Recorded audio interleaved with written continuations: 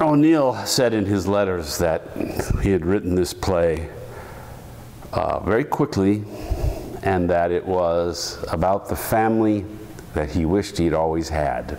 There's a, a ribbon of forgiveness in the play uh, that is probably something O'Neill could never muster for his own family and that few people in his family could muster toward him.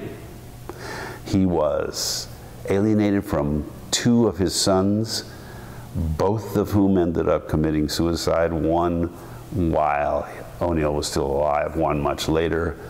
So the, the family was just a mess. So the sense of tolerance and forgiveness was probably missing in, in and O'Neill wrote this to savor what it would be like if it had been part of his family. I think you'll be surprised and pleased to learn that Eugene O'Neill could write jokes and he could give you a fun evening in the theater.